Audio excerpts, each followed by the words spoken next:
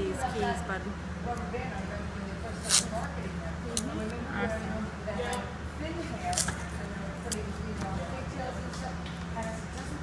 we might need to do some projects at our house, huh?